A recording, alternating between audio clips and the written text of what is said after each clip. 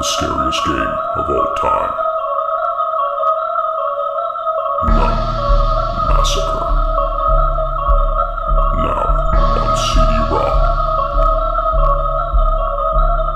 Limited run, only 300 copies made.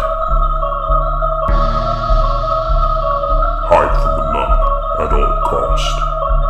In a shocking